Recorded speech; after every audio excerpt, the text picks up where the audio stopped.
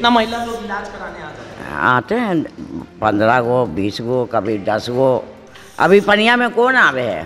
पानी ना तो डेली आता है। ज़्यादा भी आता तब है? के गो डॉक्टर बैठते हैं? अभी तो एगो बैठती है। डॉक्टर कैसे आवेगा? डॉक्टर नरक में आवेगा। ये सब पैखाना भरा हुआ है। पैखाना के पानी सब इन्हें आता है। राजधानी पटना में कुछ ही घंटों की बारिश में पटना नगर निगम की पोल खोल के रख दी है हमारी मौजूदगी। अभी बिरला मंदिर रोड के पास है। और जहाँ पे हम मौजूद हैं, वहाँ पे पहले आपको दिखा दे रहे हैं बिहार मातृ एवं शिशु कल्याण समिति। ये सरकारी अस्पताल है और स्थितियाँ देखिए कि किस प्रकार से वर्षा के वजह से जो स्थितियाँ हैं, वो पूरी तरह से जलमग्न हो चुकी है। यहाँ पे सौ की संख्या में जो महिलाएँ हैं, वो इलाज कराने आती हैं, लेकिन जिस प्रकार से स्थितियाँ जो है, वो बिगड़ चुकी है। अब बिहार में बिहार के कई अस्पताल जो हैं वो डूब चुके हैं और ये इस अस्पताल में तकरीबन सौ की संख्या में महिलाएँ जो हैं वो इलाज कराने आती हैं। और देखिए, जहाँ पे आपकी नज़रें जाएँगी, तमाम इलाका अस्पताल परिसर जो है वो डूब चुका है। और देखिए, कितना पूरे घुटने तक जो है वो पानी है। हम आपको अंदर ले चलेंगे और दिखाएँगे कि किस प्रकार से अस्पताल की क्या कुछ स्थिति है। अस्पताल के तमाम वार्ड हो तमाम वहाँ पे पुर्जा कटने वाले कमरे हो या मरीज़ का इलाज जिस जगह पे होता है, सब कुछ डूब चुका है।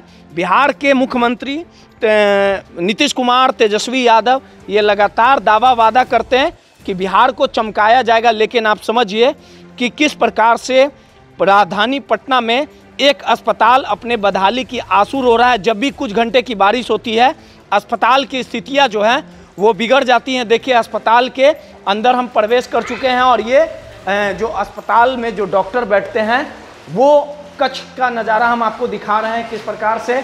समय लिखा हुआ है कितने बजे से डॉक्टर जो हैं बैठते हैं। श्रीमती रीता सिन्हा, श्रीमती नंदिता बोस, अमृता सिन्हा, श्रीमती रजनी शर्मा, ये तमाम डॉक्टरों की लिस्ट है। और महिलाओं से जुड़ी हुई जो तमाम बीमारियाँ हैं, वहाँ पे महिलाएँ जो हैं, वो आके इलाज करती है।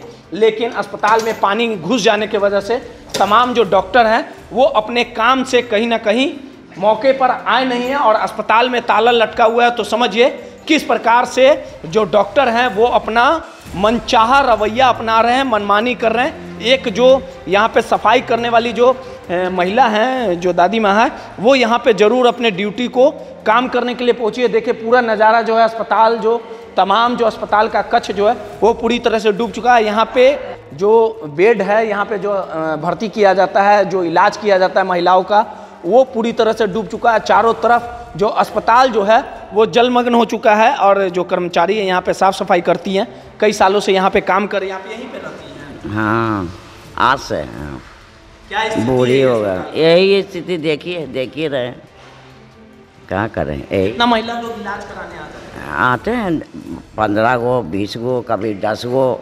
अभी पनिया में कौन आवे है? पानी ना तो डेली आता है। ज़्यादा भी आता है। डॉक्टर बैठते हैं? अभी तो एगो बैठती हैं। आप अपना ड्यूटी पे आ गए। हाँ अपने ये रहते हैं हम। देखभाल सब करते हैं। क्या करें? अब ऐसे खुला छोड़ दे। आए। डॉक्टर कैसे आवेगा? डॉक्टर नरक में आवेगा। इस सब पैखाना भरा हुआ है। पैखाना के पानी सब इन्हें आता है। है हाँ हो हमको हम तो हिये के बेटी हैं।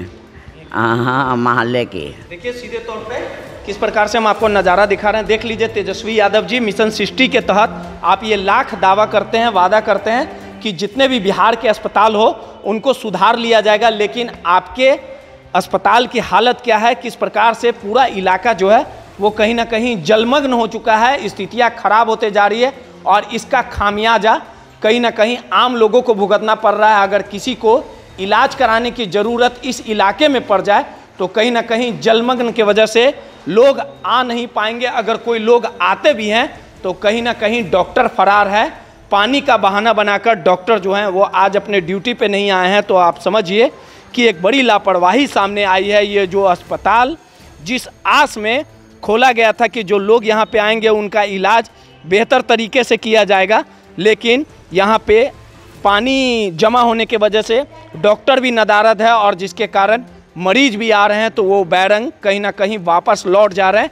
और बिहार में अगर स्वास्थ्य विभाग की बात कर ली जाए तो कहीं ना कहीं स्वास्थ्य विभाग भी है, आईसीयू में चला गया और स्वास्थ्य मंत्री अभी वर्तमान में तेजस्वी यादव भी हैं, उप मुख्यमंत्री भी हैं। और जिस प्रकार से आपको इस महिला अस्पताल की तस्वीरें हम दिखा रहे थे कि कुछ घंटों की बारिश में ये अस्पताल पूरी तरह से जलमग्न हो चुका है और जल जमाव की वजह से ना यहाँ पे डॉक्टर पहुँचे और जो भी यहाँ पे मरीज़ अगर दिखवाने आएँगे भी तक, नहीं तो उन्हें कहीं ना कहीं बैरंग लौटना पड़ेगा और सीधे तौर पर कहा जा सकता है कि यह अस्पताल अब पूरी तरह से राम भरोसे ही है। रोहित दर्श न्यूज़ पटना।